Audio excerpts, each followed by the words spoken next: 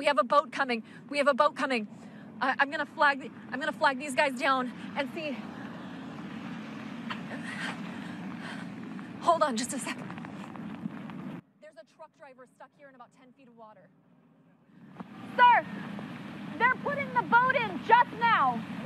They're on their way. I don't have any word on on how long he's been there or what kind of condition he's in. I'm sure he's very, very wet, very cold, very frightened. Um, I am terrified for him. And here he comes.